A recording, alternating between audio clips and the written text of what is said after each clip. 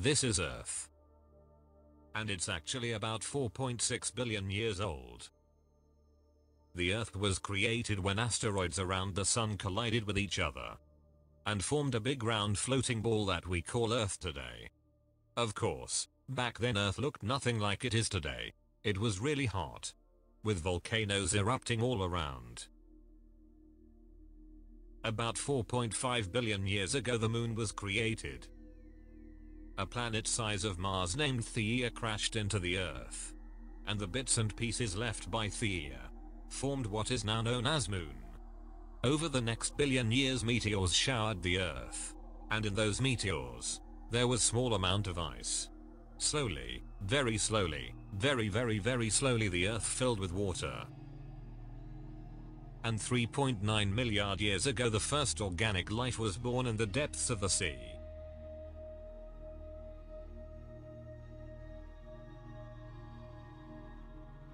Over the years, volcanoes on Earth erupted, forming the first islands. And the islands later were moved by the Earth's plates. Jumping to 650 million years before us. We witnessed the first ice age. Wherever you look there's only white, the ice covers the whole Earth. This period is called the Snowball Earth.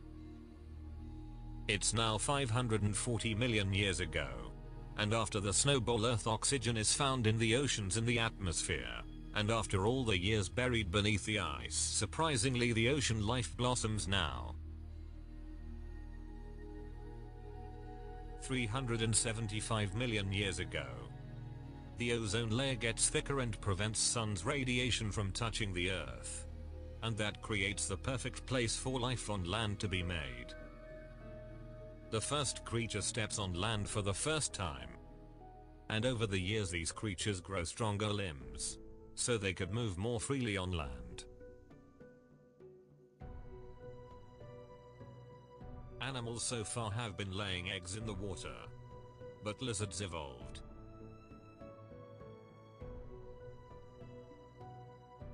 This little detail changed everything. Animals finally could move further from water and conquer the land. 200 million years ago, dinosaur era began. That will last the next 135 million years. It seems nothing can get rid of them. Oops they are dead. I guess it's finally time for mammals to shine. Meet Ida. A monkey-like creature that will someday evolve into humans. All it needs is a little push. With this tall grass monkeys must stand up on two feet to see. And with this little detail, the human era began.